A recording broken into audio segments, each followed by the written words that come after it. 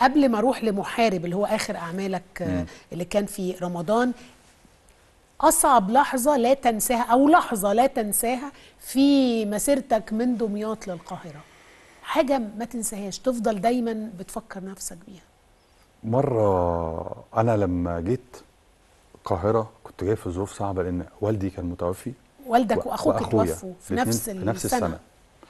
آه، أخويا في 2003 في شهر 7 ووالدي في شهر 9 2004 قبل ثانوية أخويا بثلاث أيام ووالدي مات صغير 49 سنة وأخويا مات 19 سنة أو فأنت كده. كنت مسؤول عن الأسرة عن فأنا حياتي اتبدلت بعد ما أخويا اتوفى كمان لأن ما قدرتش أح... يعني كنت بحزن عليه قوي براحتي وأقعد أعيط وتمام براحتي وبتاع. لما والدي توفى حسيت بمسؤولية. فهنا حسيت إن الحزن رفاهية. ما بقتش قادر أبكي قدام أمي الرفاهية. أختي. بقيت لما بلاقي حد إيه بيعيط أقول له ده أنت حظك حلو إنك قادر حد يشيل مكانك لأن أنت لازم بقى هنا أنت راجل البيت ولازم.